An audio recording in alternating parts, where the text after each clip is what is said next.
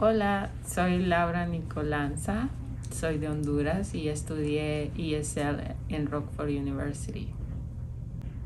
Mi primera meta en ESL era ser fluente en español, en inglés y mm, eh, ESL no solamente te prepara en inglés, sino también te ayuda a adaptarte a la cultura americana.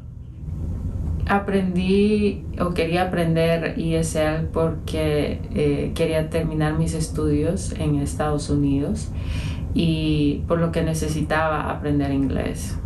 Creo que una de mis mayores dificultades a aprender inglés es la pronunciación, porque en español todo lo que lees se pronuncia tal como está escrito.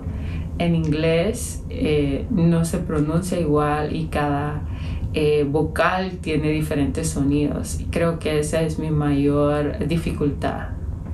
Yo soy eh, médico general en mi país y actualmente estoy estudiando para el examen para convertirme en médico aquí en Estados Unidos. Bienvenido a Rockford University.